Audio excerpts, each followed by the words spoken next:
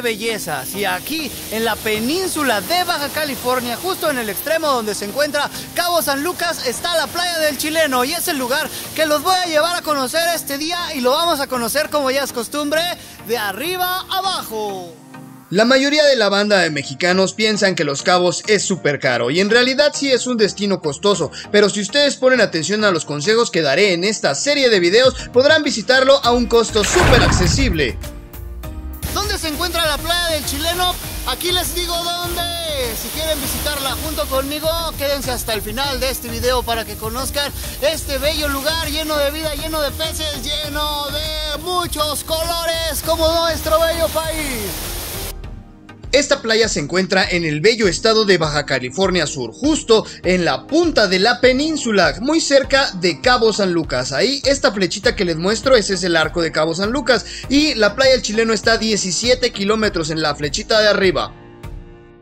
La playa cuenta con el galardón Blue Flag o bandera azul. Esta es una presea que otorga anualmente desde 1987 la Fundación Europea de Educación Ambiental. Y solo reciben esta certificación las playas que cuentan con muchos requisitos. Uno de ellos es la educación ambiental, el cuidado al medio ambiente. También tiene que ser una playa segura. Debe de tener servicios como baños, regaderas, estacionamiento y también un acceso con rampas para personas con capacidades diferentes. A nivel Latinoamérica, México tiene la mayor cantidad de playas con esta certificación, son 64.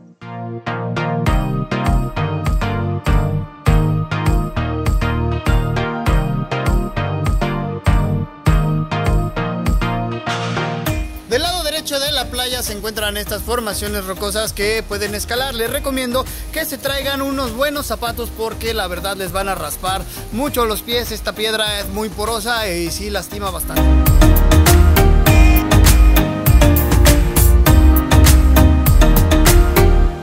Pregunta que todo el mundo se hace, ¿por qué se llama el chileno? Hay varias teorías, de hecho creo que son dos las más acertadas. Una de ellas es de que hace muchísimo tiempo aquí vivía una persona que era de Chile y entonces por eso todos decían, vamos a donde está el chileno. Y la segunda es porque llegaban piratas procedentes de Chile a refugiarse en este lugar. La verdad, ninguna de las dos es exacta. Una recomendación muy especial, tráiganse sus alimentos, tráiganse qué comer, tráiganse qué tomar, porque aquí en la playa no venden absolutamente nada. Y todo lo que traigan con ustedes, llévenselo de regreso. Va muchachos, pues ya que vimos este bello lugar, es momento de irnos para arriba.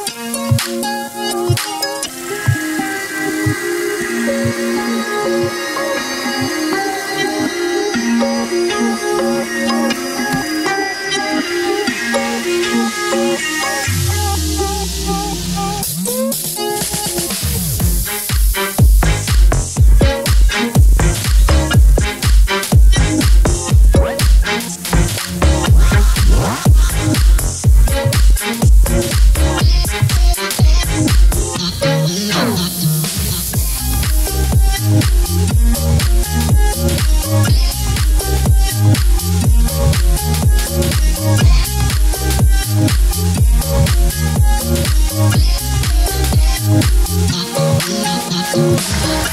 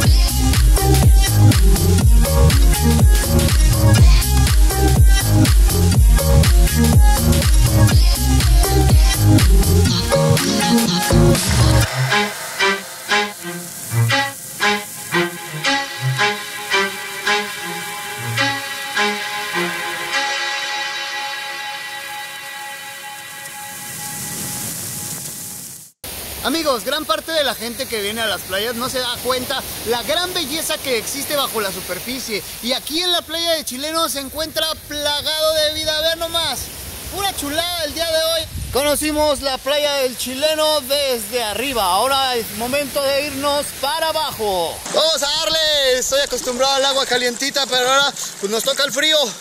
Vamos a echarle.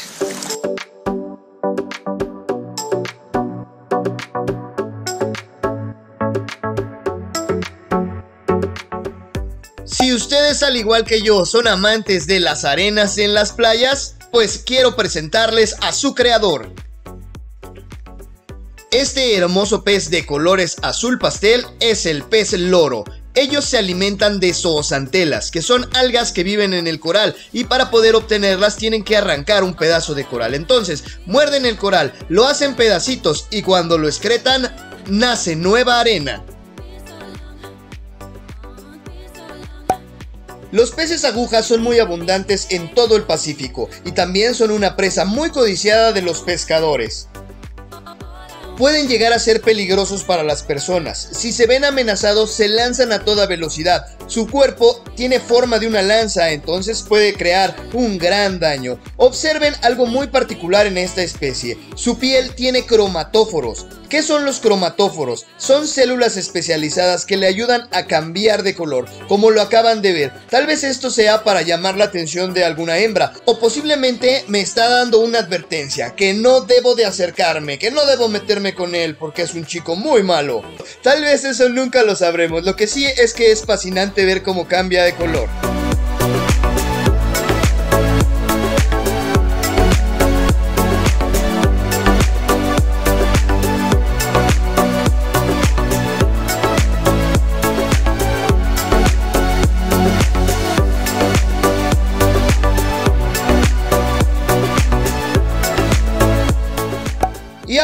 Les presento a mis tocayos, se llaman Martinicus. Estos peces son gregarios, ¿qué significa? Que viven en grandes grupos, que viven en grandes cardúmenes.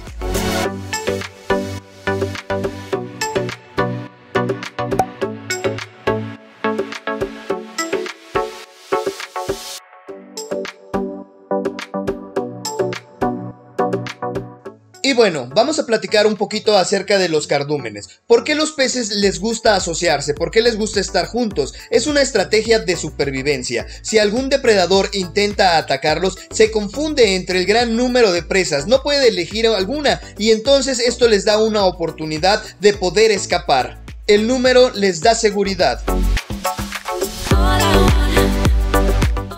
Y ahora les platico de las langostas. Bueno, lo que puedo decirles de las langostas es que son bien sabrosas con mantequilla. Estos animales poseen un exoesqueleto, ¿qué significa? Que en lugar de tener el esqueleto interno como lo tenemos nosotros, lo tienen por fuera. Cada que crecen mudan de exoesqueleto dejando una estructura vacía.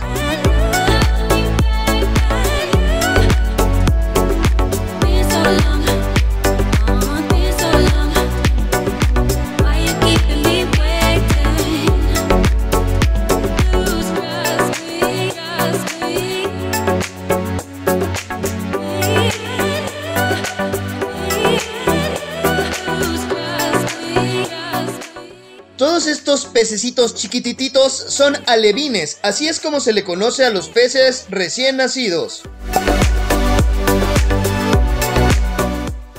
A este amigazo que anduve siguiendo un rato se le conoce como pez cofre. Su esqueleto es cuadrado y este es un pez que se encuentra emparentado con los peces globo o los peces cara de perro. Quiero presentarles a uno de los animalitos más extraños que existen en el mundo, el nudibranquio. Este es básicamente un caracol sin concha, es una babosa marina. Se le conoce como nudibranquio, que significa branquia desnuda, porque todos esos pelitos que ven en la parte de atrás que van ondeando, bueno, esas son sus branquias, órgano con el cual él respira. La mayoría de los nudibranquios son hermafroditas. Esto significa que tienen ambos sexos, lo cual es muy conveniente para la especie. Cuando ellos se reproducen, cada uno deposita el esperma en el interior del otro. Así ambos quedan preñados y ambos ponen huevos. Así aseguran la supervivencia de la especie. Se ve borroso porque era muy pequeño, medía solamente 6 centímetros. Mi cámara no alcanzó a enfocarlo y también para que puedan verlo mover está alterada la velocidad en un 200%.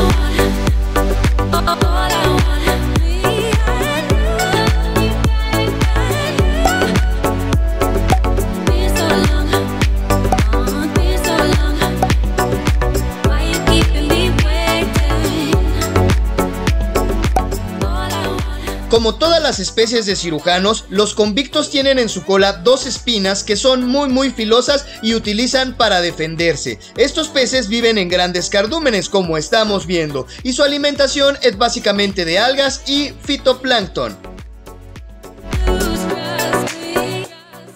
Este grandulón que vemos acercarse a la cámara se llama vieja mexicana y los otros más pequeños de naranja con verde son peces lora.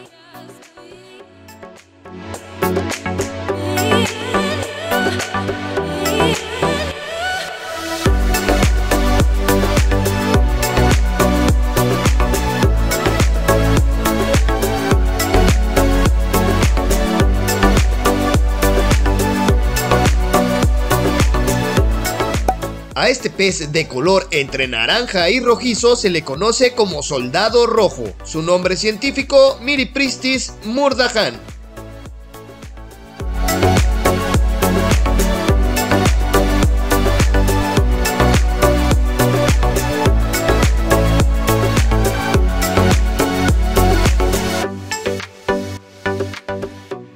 El pez ángel es precioso y este en particular tiene una variación de color, es de color naranja, vean nomás qué belleza.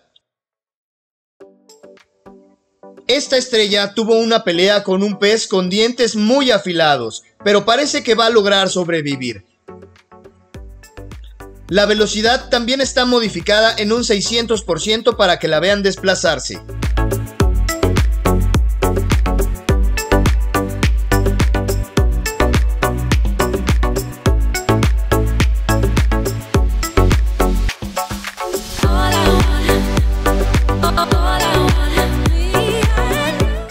De los erizos más abundantes que hay en la zona, y como ven tiene pedazos de piedra. Él mismo los recoge y se los pone para camuflajearse con el entorno.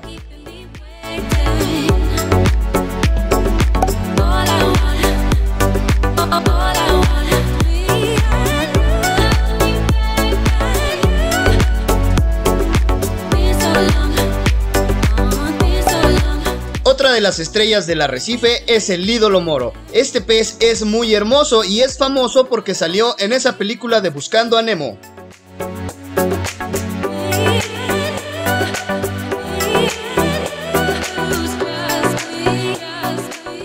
Quiero presentarles a un pez peligroso, es la raya torpedo. Ella no tiene ni aguijón, ni veneno, ni nada de eso. El peligro consiste en tocar la parte de arriba. Es una raya eléctrica, se dedica a cazar utilizando electricidad. Entonces, si esto llega a sucedernos, nos va a dar una descarga que nos va a dejar inconsciente. Entonces nos vamos a ahogar. Es por eso que no debemos acercarnos y observarla de lejecitos. Y este es el pez más sabroso que se van a encontrar en todos los mares. Acabamos con el snorkel banda, espero les haya gustado toda esta aventura y les voy a pedir un favorzote, fíjense lo que me encontré ahí este, snorkeleando. Siempre que ustedes realicen esta actividad snorkel, saquen toda la basura y por favor si vienen a la playa no arrojen nada al mar ni dejen nada en la playa porque si no toda esta cochinada que dejamos aquí acaba en los mares y créanme que hace mucho mucho daño. Se tiene estimado que para el 2050 habrá más basura que peces en el mar. En nuestras manos está cambiar esta estadística. Y también en nuestras manos está darle la salud que tanto necesita el ser más grande que habita este planeta, el señor océano.